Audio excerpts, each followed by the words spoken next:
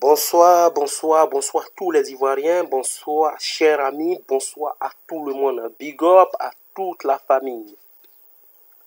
Aujourd'hui, je vais parler des choses claires et nettes et précises. Moi, ceux qui aiment Kislov, ceux qui regardent Kislov, vous savez que je ne parle pas que d'insurgés.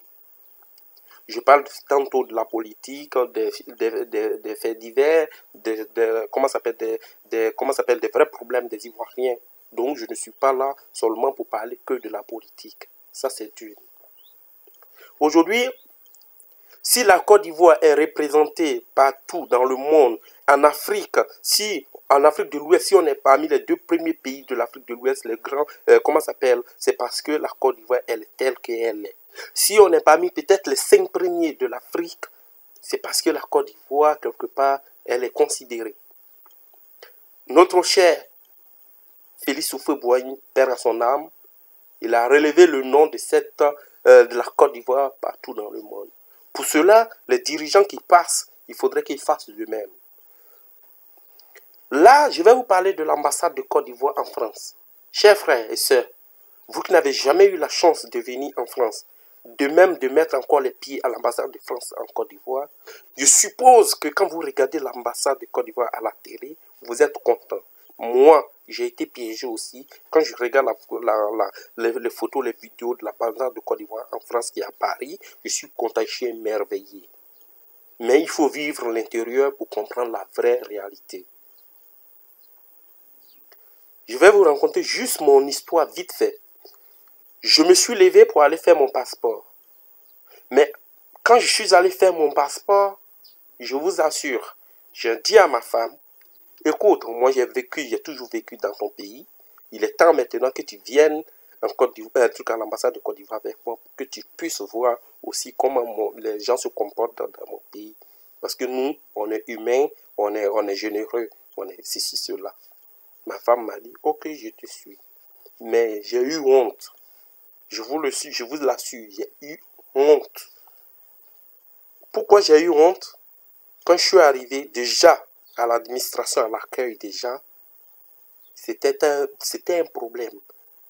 Tu n'es pas reçu comme il faut. On te dit de prendre un rendez-vous sur Internet. Sur Internet, tu es cinquième ou deuxième. Quand tu arrives, il faut attendre pendant des heures. Donc, au niveau de l'administration, rien n'est calé proprement. Ceux qui ont déjà, ceux qui ont déjà fait leur passeport à l'ambassade de France, qui vont regarder la vidéo, ils vont se reconnaître.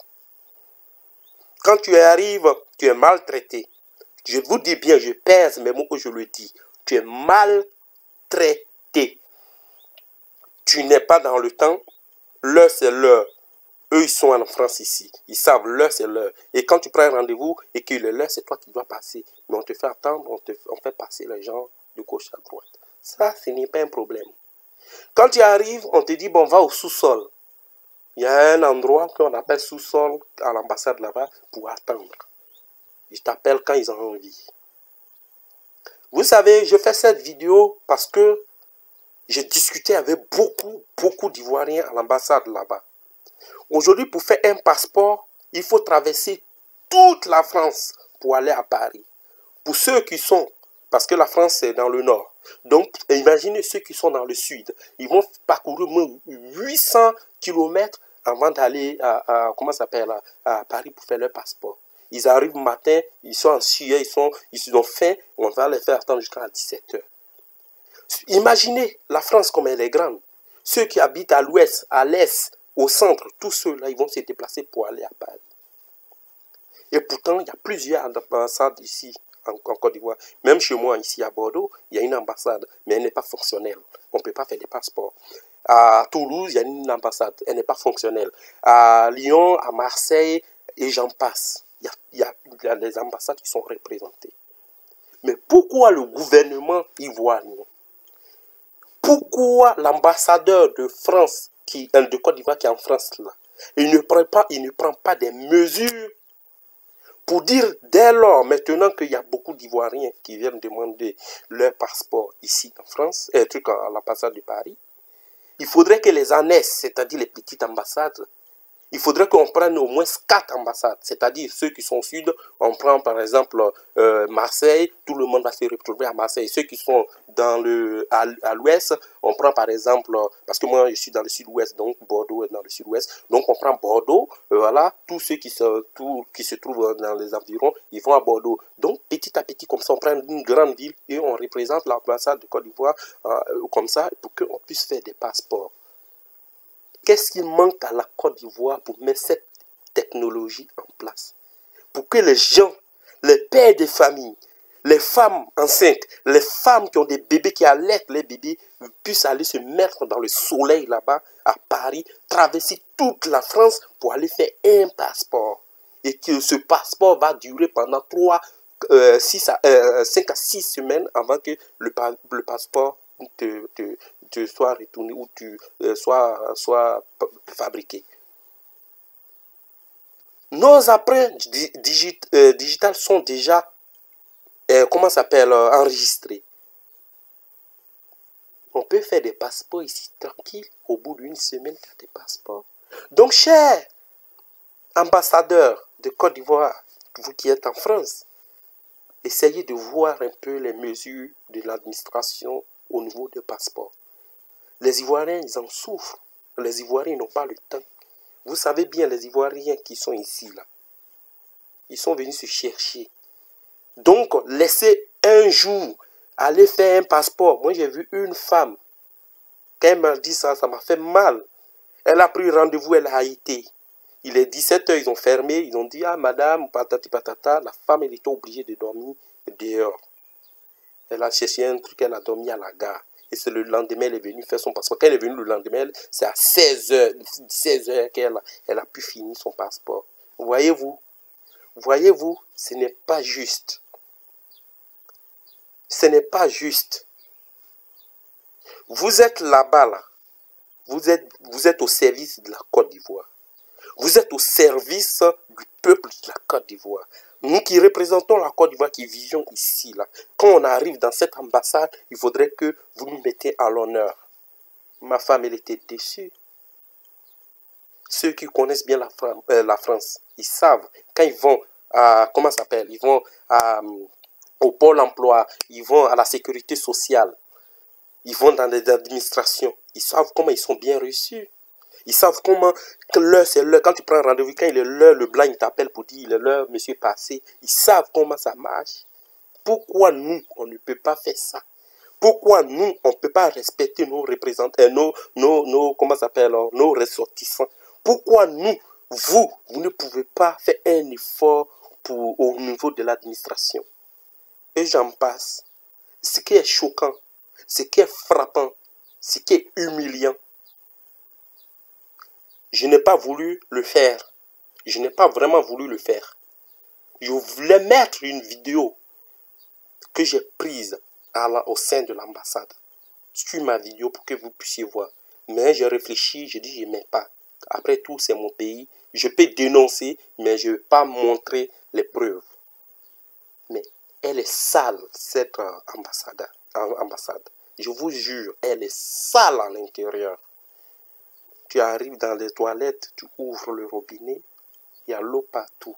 Les murs sont dégradés. Les araignées partout par là.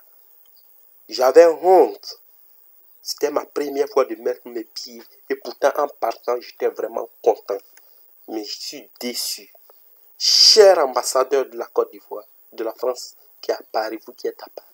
Si vous voyez ma vidéo, moi qui se love, j'ai toujours dit, les Ivoiriens, ce qu'ils ne voient pas, moi je vais leur dire.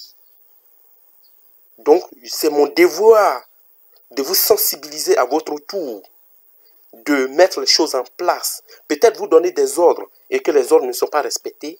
Parce que vous êtes un ambassadeur, vous avez beaucoup de choses à faire, beaucoup d'occupations. Mais faites un tour au sein de l'ambassade, tournez voir comment ça se passe et vous allez voir la réalité en face. Cette vidéo, ça me cœur de, faire cette vidéo parce que c'est après tout, c'est mon pays. Mais ça me fait du bien de dire ça pour qu'on change les choses à l'ambassade du Côte d'Ivoire en France, qui est à Paris. Parce que ce sont les ambassades qui représentent nos pays. Et si nos ambassades sont maltraitées, mal sales, mal, mal, comment ça s'appelle, utilisées, c'est nous qui en prenons les pots cassés. Vous comprenez? Donc, cette vidéo, je le fais avec un cœur vraiment meurtri. On ne peut pas imaginer quitter au bout de, la France, aller faire un passeport au bout de la France et perdre tout son temps. Il y a des gens qui travaillent, il y a des responsables qui vont faire les passeports. Ce pas des chômeurs et tous. Ils ont leurs femmes, leurs, enfants, ils ont leurs occupations. Ils vont traverser toute la France, aller faire un passeport. Donc arrêtez les gars. Mettez les choses en place. Arrêtez. Donc cette vidéo, c'était pour attirer l'attention de tous les Ivoiriens, de tous ceux qui font leur passeport, de tous ceux qui attendent, de tous ceux qui ont vu la, saleté de l'ambassade, que l'ambassade n'est pas bien traitée, l'ambassade n'est pas bien, comment s'appelle, propre comme il faut, tous ceux qui ont vu de leurs propres yeux. Cette vidéo, c'est pour vous. Mettons la voix ensemble mettons notre, comment s'appelle, euh, comment s'appelle, nos idées ensemble. Mettons cette, ça c'est une revendication que nous faisons à l'ambassadeur euh, de, de, France en Côte d'Ivoire à Paris pour qu'il mette en état notre ambassade comme il faut pour qu'elle soit respectée. Sinon, quand tu passes devant l'ambassade, quand tu ne rentres pas, elle est bien propre, il n'y a pas de souci. Mais quand tu rentres dedans, tu as vraiment honte.